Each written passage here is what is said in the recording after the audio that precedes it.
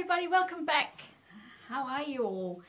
Um, something really quick and easy. I mean, for me, quick and easy. Um, uh, an open crown. Hello, girl. An open crown hat. Uh, everybody should have a cat that sort of does the, you know, photo bombing. Um, uh, open crown hat, like so. Now there are literally hundreds of different ways of making hats, and you know there is no no such thing as just one way and the correct way or the wrong way or anything like that. I'm just showing you a couple of different ways.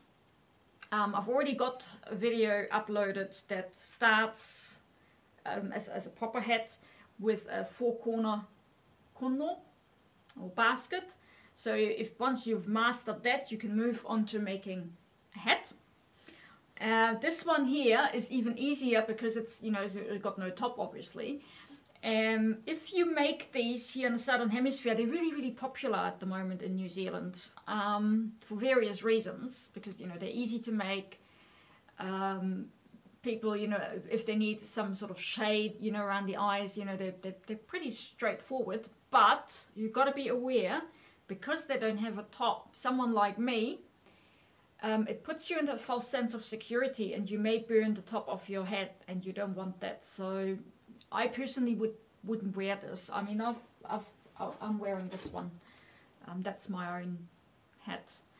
Um, or alternatively, one of these, but even that one is a bit too, too holey for my liking. So just be aware of it. That's one of those things. Anyway, so today here, this tutorial is, is pretty straightforward, simple. It's using the same width all the way around, even on the sides for the add-ins. In order to um, get a brim on any hat, you need to have, you know, obviously add in more strips to make it wider. Otherwise, you just make a cylinder like this. It would just continue on, and that's not ideal. So I'll show you how to add in. I don't go into too much detail about the locking off because there are so many different ways of doing that and also I've shown it before. So um, this is really, you know, just a little a little fun video on, you know, quickly make these. You can you can dye these, you can boil these, um, whichever way you want. You know, you can make a pattern on the side if you've got the space, by all means. So that's that's the first one. I will make a second video um, following on, so if you look them side by side, so they start the same way, um, full width, and then I split them and add on smaller or, or narrower strips. So they kind of, you know, it gives you more options in terms of patterns. So here, you, you, you know, if you use colors, for example, you can put a pattern on the brim or even on the side if you wanted to. So th those those videos, or that video rather, will only be available inside our Weaving Circle.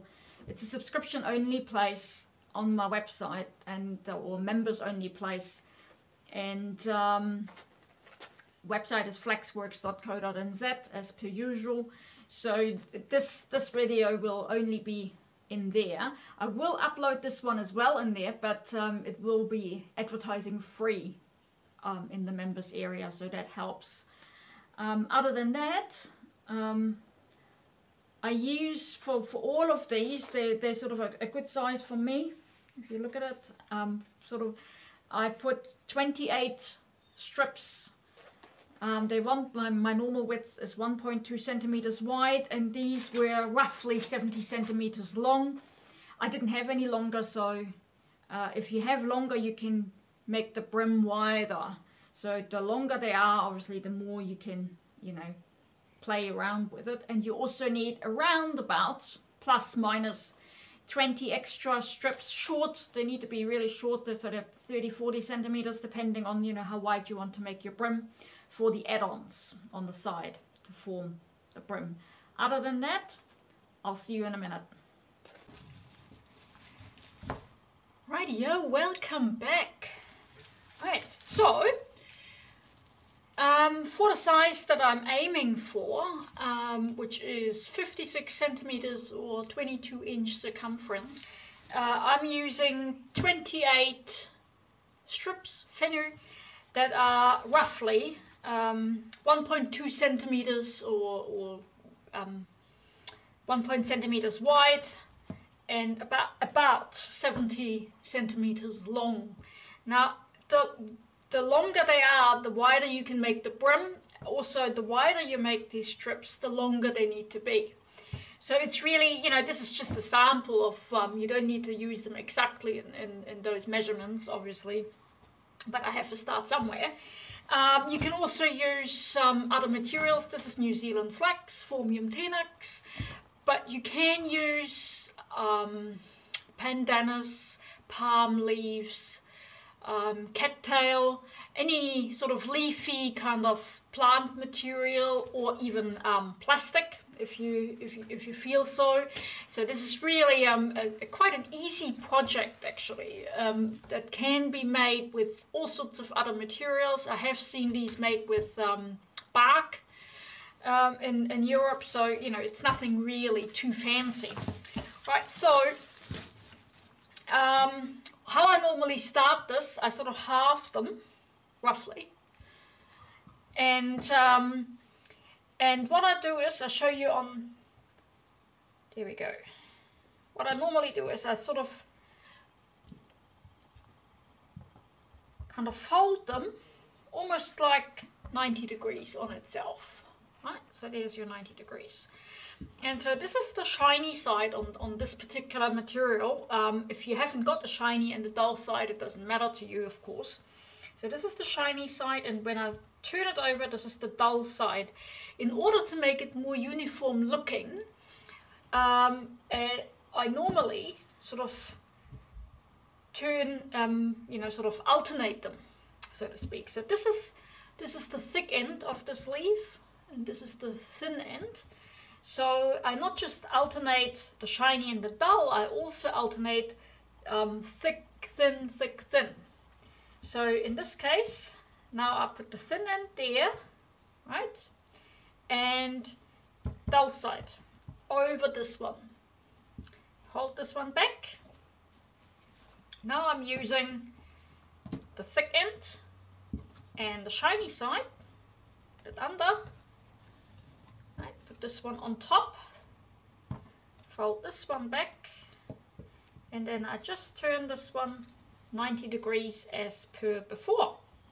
Fold this one back. And so basically what I'm doing is I'm, I'm creating a over one, under one weaving pattern. It's a very common pattern in a lot of um, weaving around the world. So it's, you know, it's nothing, nothing super special. On, shiny side. There you go. over, put this one over, this one comes back, this one gets folded basically in on itself, 90 degrees, this one folds back. There you go, zoom in a little bit. There we go.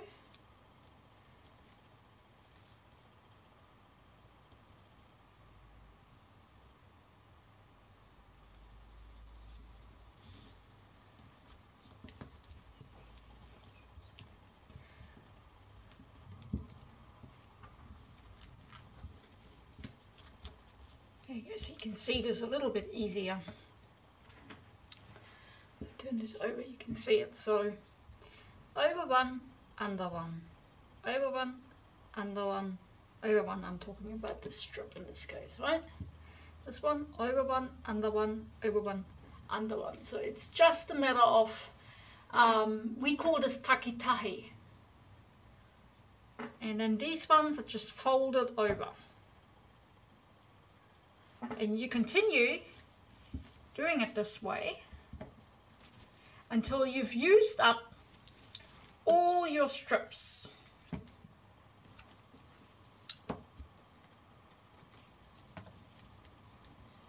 Yeah.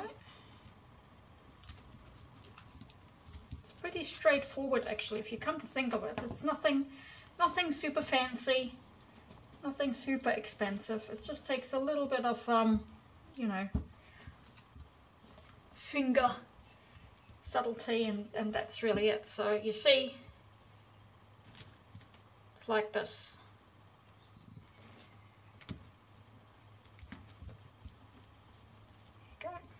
last one in. If you think this is falling apart too much in your hands, there you go. If you think this is falling apart too much, then you can use these kind of bobby pins, you know, hairpins, and just, you know, peg the sides if you like. And so what you do is you continue with this, adding up all, all those whenu, all those strips that you've got ready. Um, and then I'll see you once you've added all of these in, or once I've done it, in this case. And then I'll show you the next step. Welcome back. Right, so I've woven these 28 ones in, um, over one, under one. I've turned the sides down here 90 degrees. Um, so they are one, two, three, four, five rows up. So this is, you know, as mentioned earlier, this is going to be the more basic version of this um, type of open crown head. Um, I will make another video that starts essentially the same way like this, um, but um, is um, a bit finer. You know, you can see they they kind of um, get split to half width here, and so that makes the the brim of the head essentially a little bit sort of um, finer. Um, but we won't do that today because that's more for experienced weavers. I'll pop those videos um, into my subscribers only area. Uh, it's called the Weaving Circle on my website, flaxworx.co.nz. So if you if you really want to learn, you know, you know the finer version of this, and I will make another one with just the wiser, so to speak.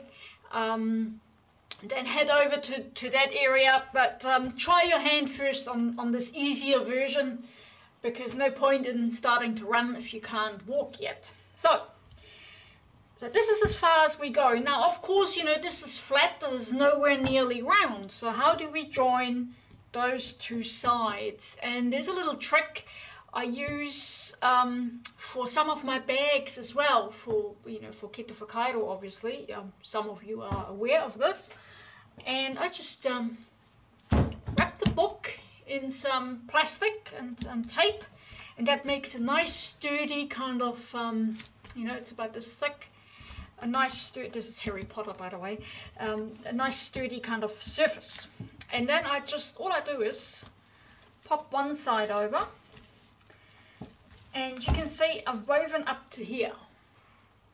So I pull these ones back take this one out these ones back.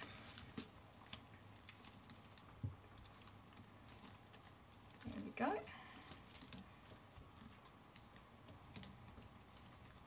Right, and then I pop this one on top of it,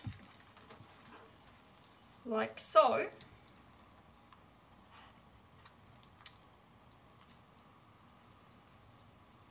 There This one is going like this. I haven't turned this one yet and then that one fits perfectly onto this one. And then all I do is hold this back so you can see this easier. All I do is weave these remaining strips in. The same way as we done earlier before so over one under one.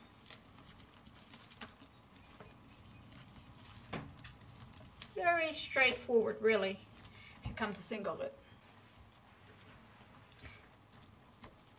Only problem is that you need to be aware down here that it's a little bit fiddly. Other than that, it's really, there is just no other way these can go if you continue with your over one, under one method. Like all or most of my videos, this is really sort of for people who have woven before anyway. So you you will be familiar with this concept even if you're not based in New Zealand. Um, this is one of the easiest sort of things that people do is the over one under one weaving concept.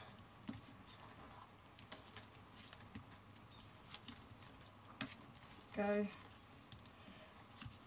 It's really um really straightforward.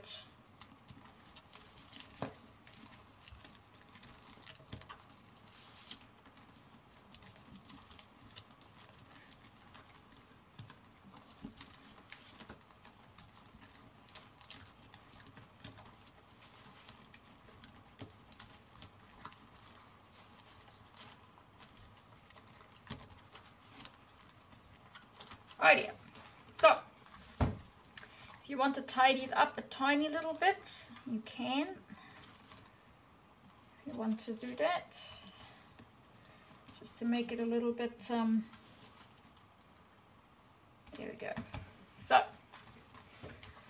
so now essentially what you have is already, you know, like a round shape that resembles a hat, essentially, you know, if you're looking at, at these two, these other models, so it, um, you know, it resembles a hat.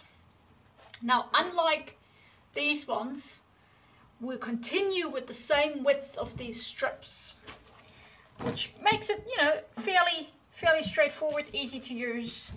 And for that purpose, in order to get the brim, obviously if I were to continue weaving like this, all I do is make a large or long cylinder. And that's not what we want. Now we want to spread things out. So from here, we obviously want to have a brim that's going around our head. In order to do that, we need to add in extra strips.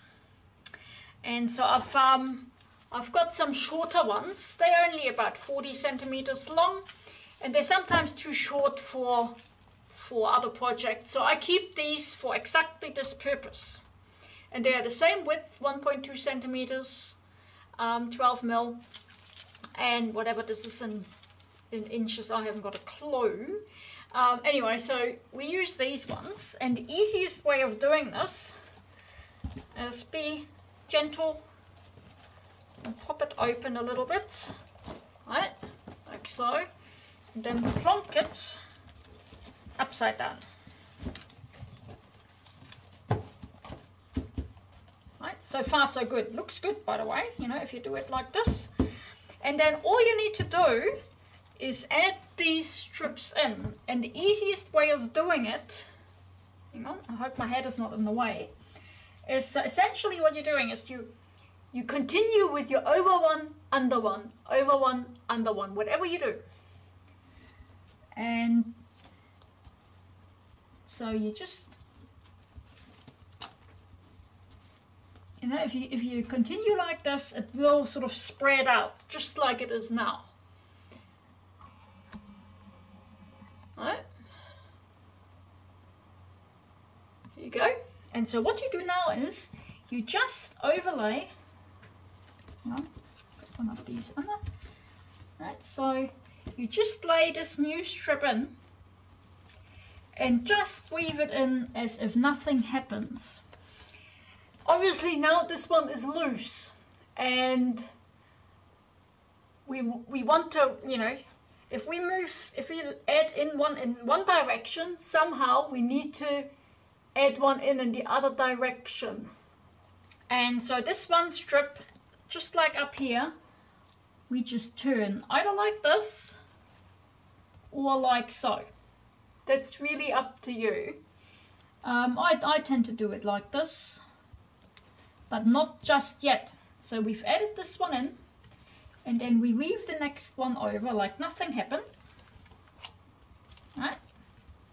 And suddenly we've got this one left over. And that's when we turn it, right? Pull this one back, and then we just have the same as before, you see? Over one, under one the whole way. Go. Can you see that? This is the simplest way of adding in. I repeat.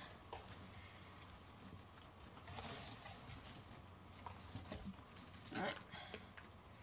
Pop one over, just lay it on across like so. Weave it in like nothing else happens. Hang on, excuse my head. In comes the next one, goes over just as if nothing happened. And then we suddenly got left over with this one. And that is when we turn it and then weave the next one in. Oh, excuse me, like so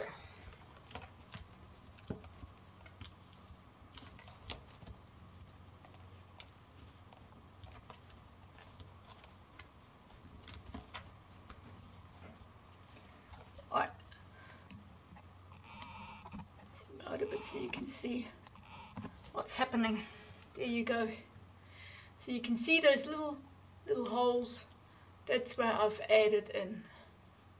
So adding in is really one of the easiest way of making um, a head or making any um, abstract abstract shape um, or a round thing of anything really. And you can add in as much as you like. You know, the more you add in, the wider you can make your brim. Obviously, I'm running out of length here, so I'll probably only add in one round and make this fairly shallow. But that's enough. You know, it doesn't need to be a huge kind of head. And plus, for this demonstration, that's, um, you know, good enough, I think.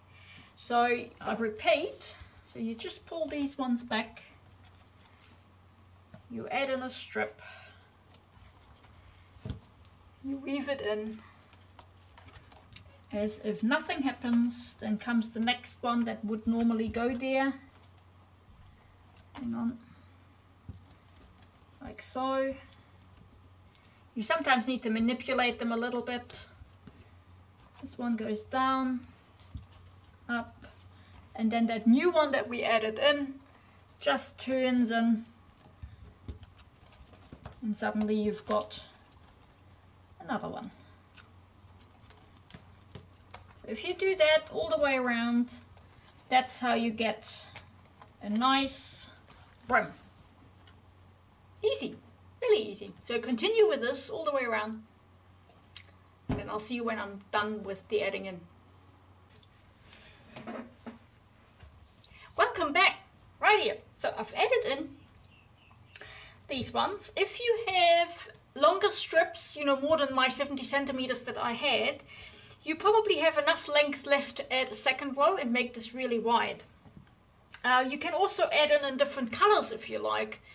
Um, that that's really totally up to you. Then then you know the brim looks really nice and funky, and you know um, so there's a number of ways of how to zhuzh this up.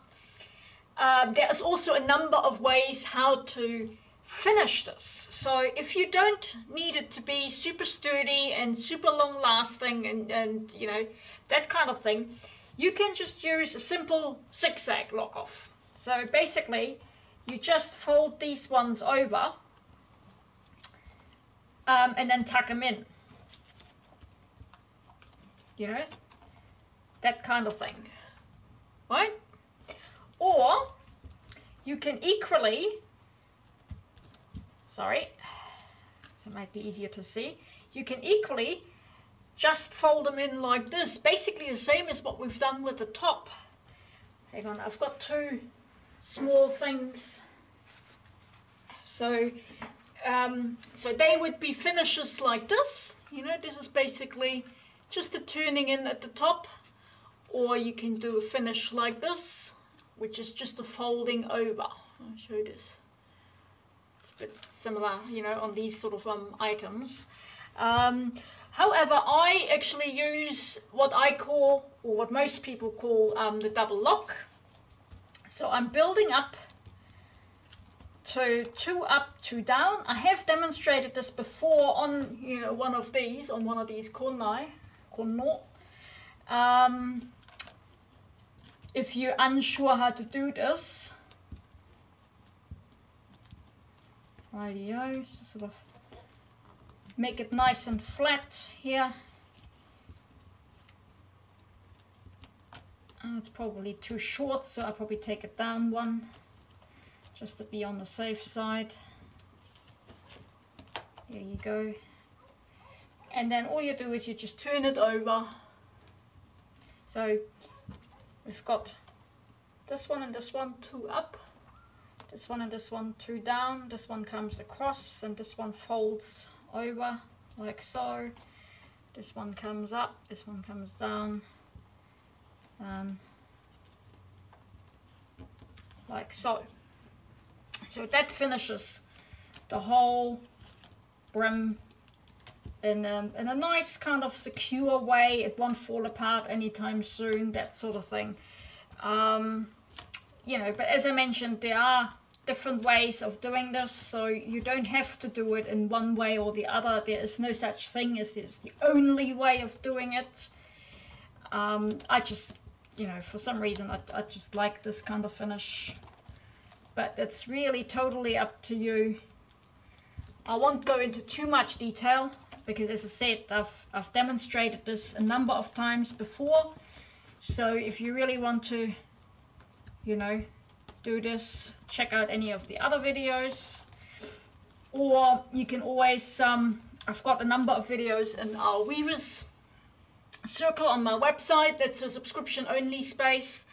So you can head over there and um, and subscribe and and you know you find videos there that hopefully help you with this plus we've probably got um, a zoom session coming up just on hats which I will record and um, have people members will ask questions and um, that I will also put up on the on the member site so you know there's different options for you to do this but anyway I'll finish with this and I'll show you the end product when I'm done. There we go. So, locked it all off. This is the bottom. You know, so you got a fairly shallow, shallow brim. Now all I need to do is cutting these end bits off and then essentially this is done. And so you can really fairly quickly make this kind of um, open crown hat if you, you know if you have a bit of experience and, and, and trial it a few times then you know this is something you can you can do fairly quickly on a hot summer's day you know you need some shade well you know you can just whip it up and do it you don't need to make it too fancy don't need to go to to the length that we go with the other ones that I'm um, showing later on or rather inside the weaving circle.